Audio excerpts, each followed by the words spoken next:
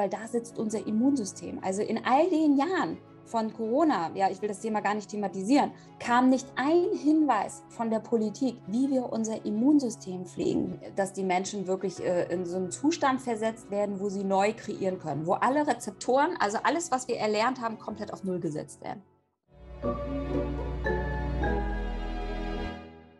Wenn jetzt da draußen einer ist und er sagt, okay, das klingt wahnsinnig faszinierend, auch gleichzeitig habe ich vielleicht wenig Berührungspunkte mit dieser Materie und Co. Was kann jemand zu Hause jetzt sofort tun? Und damit meine ich nicht, äh, wo finde ich den nächsten Drogenjunkie, der mir die richtigen Dinge verkauft, sondern derjenige, der das Interview hört und heute Abend mal zu Hause für sich selber ausprobieren möchte, was da an Geheimnissen des eigenen inneren Bewusstseins möglich ist. Gibt es da eine kleine Übung? Gibt es vielleicht eine Einladung oder eine Möglichkeit, sich selber noch besser kennenzulernen? Also da sagst du genau das, was eben das Problem ist. Da sprichst du eine sehr wichtige Thematik an. Also erstmal müssen wir uns freimachen von diesem Begriff Droge. Es ist eine, in schamanischer Kultur Medizin. Ja, also was für uns als Droge verteufelt wird, ist in deren Sicht Medizin. Ne, es ist Erkenntnismedizin und aus deren Sicht nur, wenn der Geist die Erkenntnis bekommen hat, warum er erkrankt ist, kann er heilen was bei uns äh, schon mal in unserer Kultur der völlig gegensätzliche Anteil ist. Ja, man bekommt die Spritze und zack, äh, weg ist das Symptom. Ja, aber man ist nicht vollständig geheilt. So, und äh, man kann natürlich auch all diese Sachen, man muss keine exogenen Psychedelika nehmen, also körperfremde Substanzen. Man hat es alles in sich, denn wir produzieren das stärkste Psychedelika, was auch in Ayahuasca drin ist, DMT, selber. Also wir produzieren tagtäglich körpereigenes DMT, körpereigene Drogen. Und das ist der spannende Punkt. Und da ist, das ist der Schlüsselpunkt, wo die Schulmedizin und die Spiritualität zusammenkommt. Weil es ist wissenschaftlich bewiesen, dass wir das DMT produzieren, auch das Pinolin in der Nacht, ja, über die Zirbeldrüse, dass wir träumen können, dass wir Visionen bekommen. Ähm, und auf der anderen Seite eben diese ne, psychedelische Kultur, ja, die Schaman schamanische Kultur. Und da trennt sich zum Beispiel die indische Kultur von der schamanischen Kultur. Ja, weil die indische Kultur sagt, wir brauchen keine Psychedelika, wir haben das alles in uns und du kannst jeden Moment anfangen. Du brauchst dich einfach nur hinzusetzen und meditieren und deinen Geist öffnen, dein drittes Auge. Und dann gibt es bestimmte Atemtechniken von Stanislav Grof zum Beispiel, ne, der dieses holotrope Atmen entwickelt hat, von Wim Hof. Ja, also wir haben so viele Möglichkeiten, in andere Bewusstseinszustände zu kommen, ohne Substanzen. Und da kann jeder selbst entscheiden, welchen Weg er gehen will. Natürlich ist es schwierig hier äh, in Europa mit Ayahuasca, weil es ja eben, wie gesagt, nicht legal ist. Ne? Mhm. Das muss man klar sagen. Mhm. Also wenn wir jetzt über die Geheimnisse des Bewusstseins sprechen und um die, über die eigenen Körper, eigenen Drogen sprechen. Jetzt hattest du als Angebot, an, angesprochen, das holotrope Atmen, dass ein Mensch sich äh, in einer waagerechten Position begibt und dann diese Technik über ein paar Minuten lang durchführt. Magst du uns da mal auf die Reise nehmen, was jeder für sich heute Abend mal testen kann auf dem Boden? Ja, das ist halt mit diesen holotropen Atmen, also je nachdem, wie intensiv man das machen könnte. Das muss man halt wirklich richtig lernen und ich würde das auch nicht empfehlen, ohne einen Therapeuten zu machen, weil das kann schon ganz schön heftig abgehen. Ne? Also man kann da wirklich ziemlich intensiv in so einen Rebirth-Zustand kommen, dass die Hände sich verkrampfen, dass man kurz vor so einem Hyperventilationszustand ist. Und ähm, das ist halt wie so ein Trance-Zustand. Ja, also auch Trance ist ja eins der urältesten Heilmethoden auch aus Afrika oder Voodoo-Kultur, dass die Menschen wirklich äh, in so einen Zustand versetzt werden, wo sie neu kreieren können, wo alle Rezeptoren, also alles, was wir erlernt haben, komplett auf Null gesetzt werden. Und solche Zustände kannst du auch über At Atemtechniken bekommen. Also ich sage immer, der einfachste Weg, ich mache ja auch Rohkakao-Rituale in Hamburg, habe ich jetzt schon länger nicht mehr gemacht, aber ich teach es eher anderen Leuten, wie sie es machen.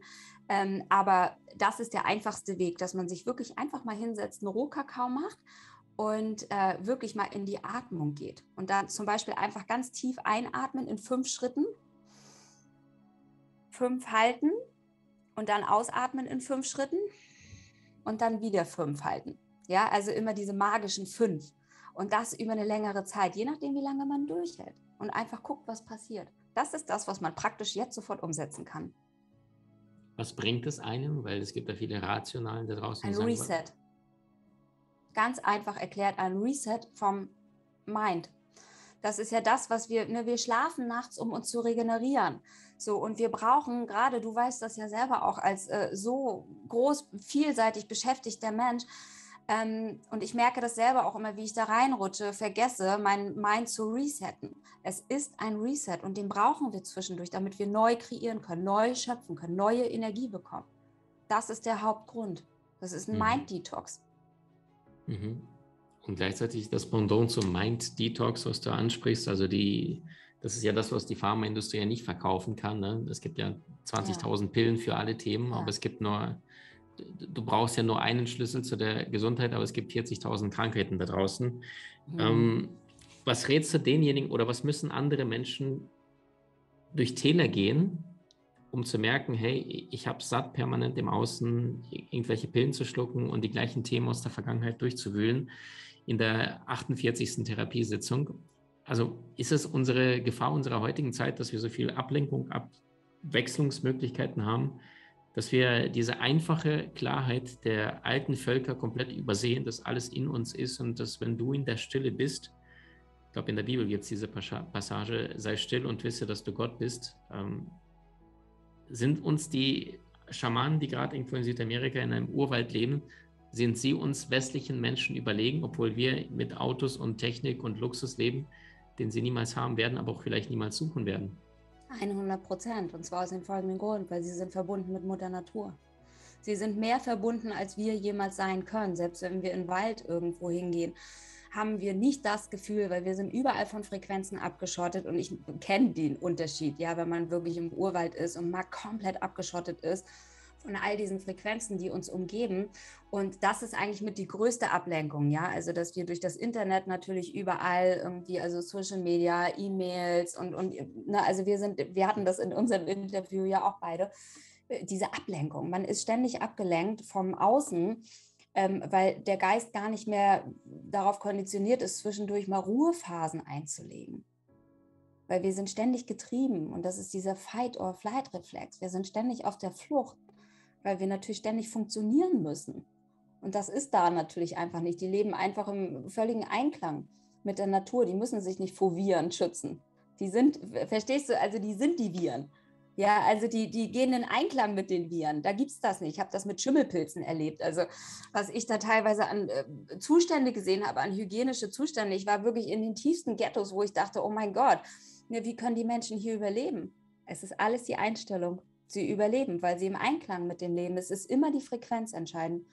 Und wenn du in der richtigen Frequenz schwingst, was ja auch die Schumann-Resonanz von der Zirbeldrüse, ja, also wir haben ja eine bestimmte Resonanz, ein bestimmtes Resonanzfeld von Mutter Erde, das ist die Schumann-Resonanz und unsere Zirbeldrüse, die ja das Pinolin auch produziert in der Nacht, womit wir träumen können, reagiert auf diese Frequenz. So, und wenn wir abgeschottet sind durch WLAN-Frequenzen, durch 5G und so weiter, dann kommt unser ganzer Biorhythmus aus dem Gleichgewicht und somit auch unsere Moleküle, die wir produzieren, die für unsere Wahrnehmung zuständig sind. Und ganz vielen Menschen fehlt das Serotonin und das Melatonin. Ja, also alleine schon durch die Tatsache, dass wir zu wenig Sonnenlicht aufnehmen, weil wir zu viel in Wohnungen sind, abgeschottet. Homeoffice schön und gut. Ja, aber wir sitzen im Büro und sind einfach komplett abgetrennt von der Sonne und mhm. von den Elementen. Mhm. Von den Dingen, die du jetzt gerade zuletzt angesprochen hast, wenn wir das mal in so eine praktische Punkt-für-Punkt-Liste überleiten könnten, können wir da ein paar Tipps konkret sammeln, was derjenige, der sagt, hey, ich fühle mich irgendwie so lost, eigentlich bin ich auf meinem Weg, aber gleichzeitig fühle ich mich nicht so verbunden. Du hast jetzt ein paar Sachen schon angesprochen, also könnten wir die mal sammeln und bündeln, wie so eine Checkliste, ein bisschen weniger davon, ein bisschen mehr davon. Genau, also ich habe ja ein ganzes Therapiekonzept entwickelt dazu, was den Menschen wirklich in fünf Schritten dahin bringt, dass ähm, er seinen Geist und Körper reinigt. Ja, weil man kann nicht äh, auch nur über den Geist kreieren, wenn die Materie vergiftet ist. So und mhm. wenn du natürlich weiterhin Burger und Schokolade isst oder Pizza, ja, dann äh, kannst du noch so viel meditieren. Äh, es ist trotzdem in der Realität, ist trotzdem da. Und im Schamanischen gibt es drei Ebenen der Realität. Ja, also das Unterbewusstsein, was die seelischen Anteile betrifft, was mit der Zirbeldrüse in Verbindung steht, das Überbewusstsein, was mit dem Kollektiven, wo du zum Beispiel auch einen guten Zugang hast, ja, ähm, mit dem kollektiven Feld, ja, mit, mit den Ahnen, mit den Generationen zuvor und die Realität, das Jetzt. So, und viele, das Erlernte, viele bewegen sich nur in dieser Realität und man hat gar keine Zeit mehr, sich mit äh, seinem Unterbewusstsein und seinem Überbewusstsein zu beschäftigen. So, also empfehle ich, der erste Schritt ist, den Darm zu reinigen. Das ist das, was ich wirklich empfehle, weil damit fängt es an, da docken unsere Botenstoffe an. Ja, also auch die Mikroorganismen, der Kosmos in unserem Darm, ja, wo auch die körpereigenen Drogen andocken. Und ähm, wenn man das nicht regelmäßig macht, auch sein Bindegewebe, was den Zugang zur Matrix hat, und sein Blut regelmäßig reinigt und seine Zirbeldrüse, sein Geist regelmäßig reinigt, dann kann der Körper nicht ganzheitlich funktionieren. So, und was man da machen kann, willst du jetzt konkrete Schritte haben? Gerne, ja.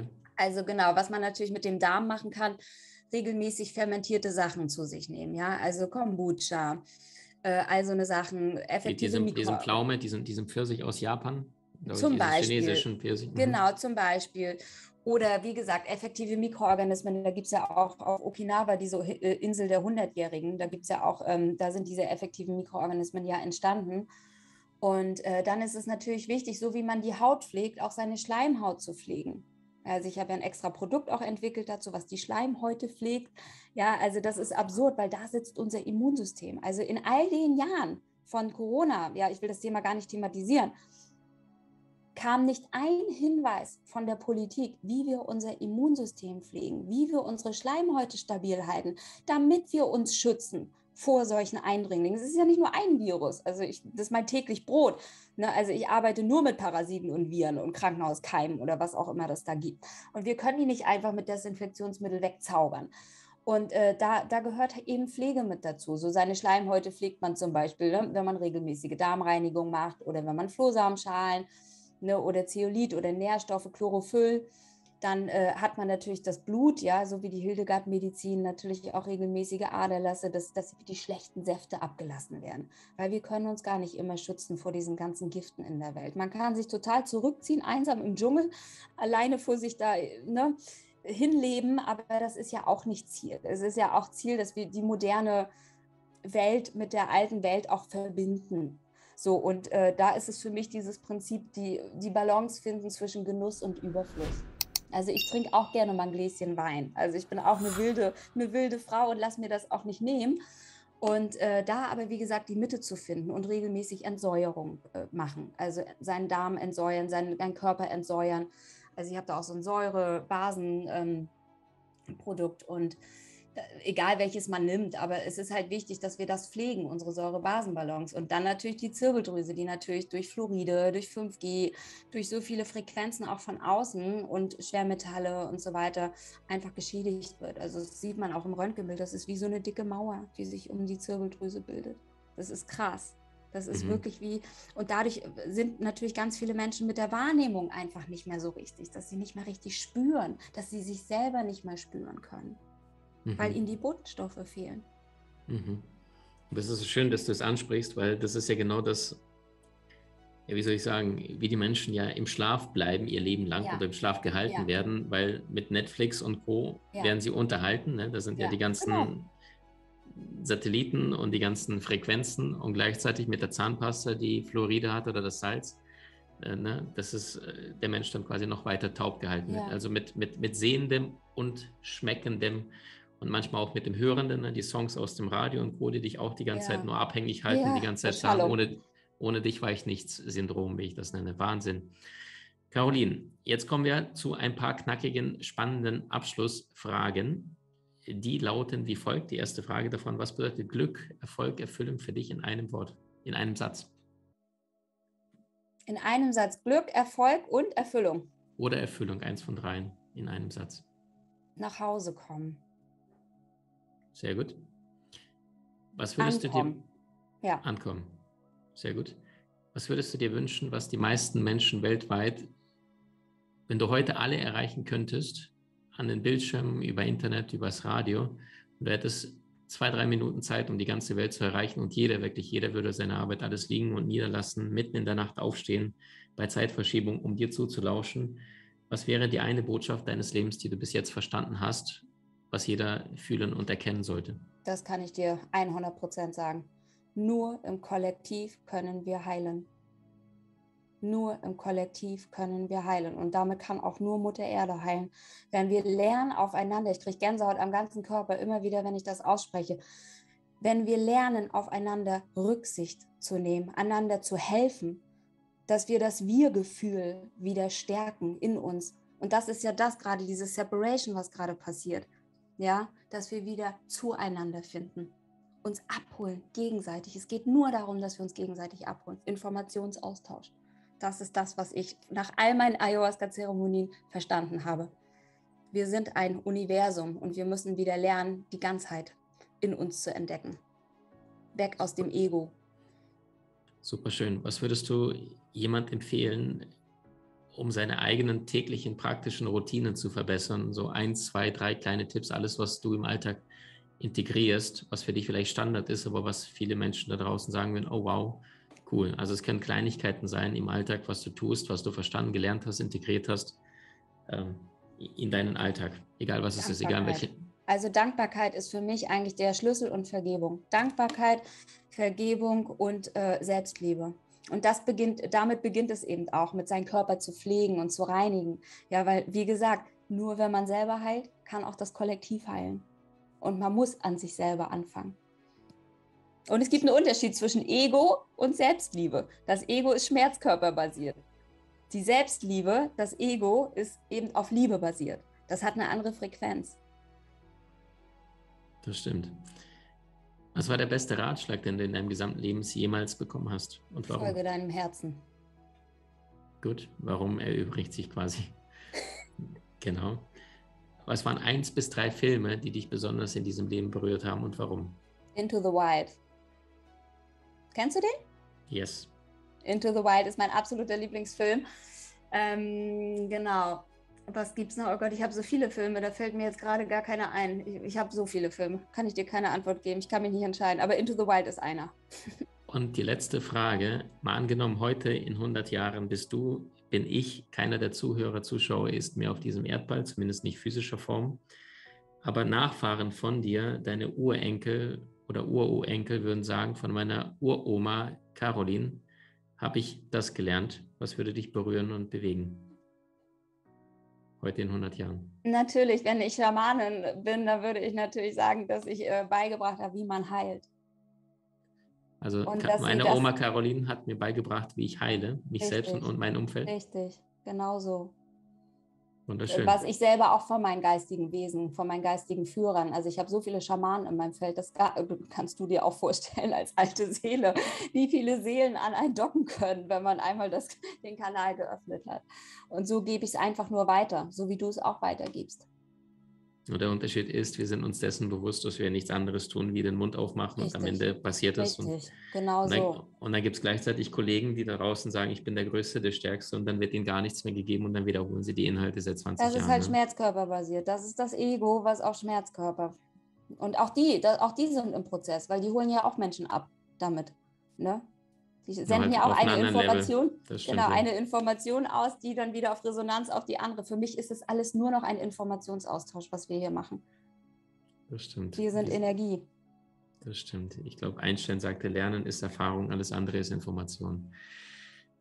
Liebe Caroline, ich danke dir für deine Zeit, für deinen Mut vor allem, ja, dass du da so offensichtlich darüber sprichst, über Ayahuasca, über die Dinge, die uns tagtäglich ausbremsen in unserem normalen Alltag, was die meisten Menschen zwar schon ahnen auf unbewusster Ebene, aber jetzt nicht den Fokus dahin gelenkt haben. Also Freunde, tauscht euch, äh, holt euch eine Biozahnpasta, schaut, welche Frequenzen umgeben euch, minimiert IT, minimiert Technik, minimiert äußere Einflüsse, fremde Stimmen, egal ob es aus der Presse ist oder aus dem eigenen Umfeld. Manchmal sind es die Liebsten, die die unbewusstesten sind. Ja, das heißt nicht, dass sie böse sind, das heißt nur, dass du aufgewacht bist und sie noch nicht. Und alles hat seine Daseinsberechtigung. Ich danke dir, dass du so mutig gehst, dass du dein Herz mit geballten Fäusten ja verteidigst und für andere Herzen da draußen kämpfst, aufzuwachen, zu heilen, zu lieben, zu transformieren. Danke, dass du bei uns warst. Danke, dass du mir die Möglichkeit gegeben hast vom ganzen Herzen. Dir einen wundervollen Tag. Dankeschön. Dir auch, Maxim.